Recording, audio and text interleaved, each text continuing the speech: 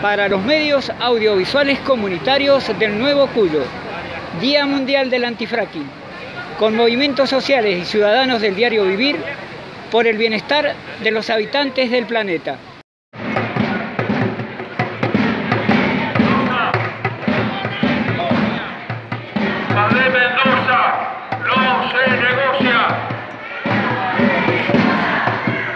Emilce, en este día tan especial, ¿qué nos recuerda?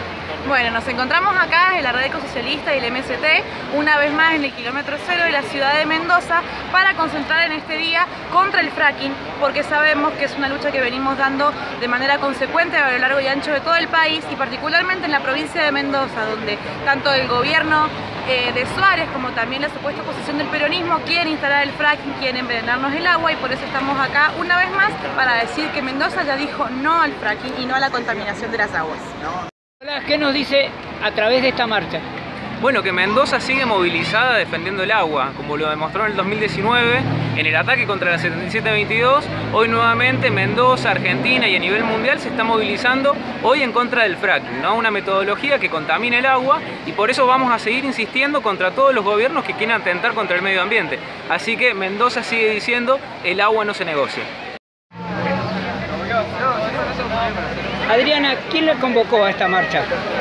Esta marcha, bueno, conseguí la información a través de las redes. Yo soy autoconvocada y me parece importantísimo que estemos apoyando a todos los compañeros y todos los partidos que están en contra del fracking, porque el fracking es una actividad extractivista sumamente... Eh, contaminante, saqueante y desgraciadamente nuestro gobierno, tanto nacional como provincial, siguen apostando a este tipo de actividades que son, como dije recién, altamente contaminantes.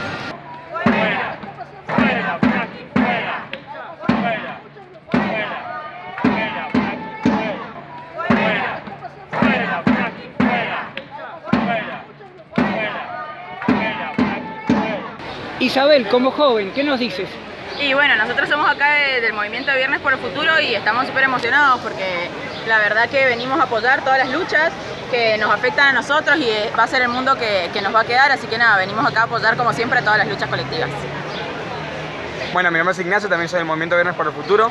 Nos pone muy contento poder apoyar a estas las asambleas socioambientales que tienen años trabajando acá en Mendoza porque justamente como decía nuestra compañera, esta es una lucha que nos del presente y también del futuro y no nos queremos quedar afuera. La juventud tiene que siempre apoyar y tiene que estar eh, presente. Pablo, como docente, ¿qué nos dice sobre esta marcha?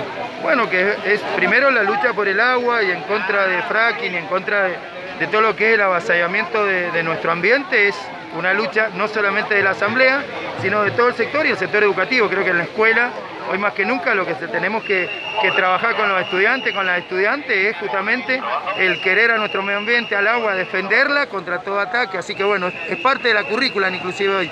Así que bueno, pero tiene que ser, aparte de estar escrita, tiene que ser un estilo de vida, defender lo que es nuestro junto con la educación, la salud y el trabajo.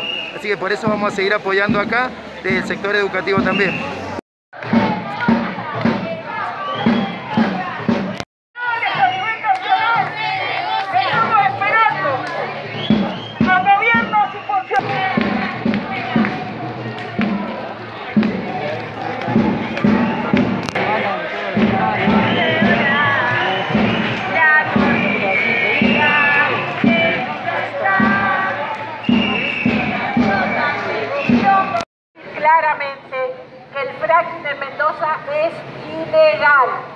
Todos los procedimientos administrativos que dicen las leyes, la Ley General de Ambiente de la provincia no se han cumplido y se aprueba el fracking con el cuento de que es una actividad que hace más de 70 años se hace en la provincia. Eso es falso, eso es mentira. Entonces, ¿qué es lo que nos queda? Y coincido con mis compañeros, estar en la calle, organizarnos, pero además es muy, muy, muy importante que conozcamos todos nuestros derechos, para ejercerlos y para difundirlos. Los derechos a peticionar, los derechos al ambiente sano, los derechos a conocer la información pública. Todos estos derechos son prácticamente día a día vulnerados en la provincia. Y los funcionarios están muy cómodos gestionando en la ilegalidad. Está en nosotros hacerlos sentir incómodos y decirles claramente que así no se gobierna. No de a la gente, no de a las leyes, no de a los derechos. Muchas gracias. Desde la ciudad de Mendoza informó Eduardo Jiménez para Giramundo Comunitario.